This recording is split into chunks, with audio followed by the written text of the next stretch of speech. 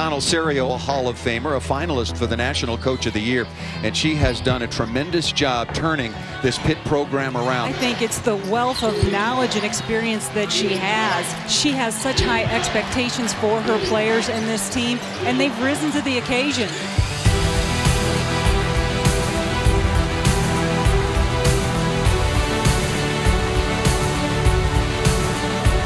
About defense. The Panthers hold Chattanooga to a season low, and they win it.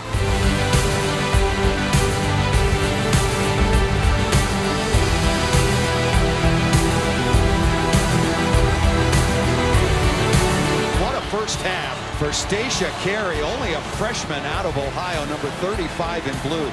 Maybe the best player on the floor for either team.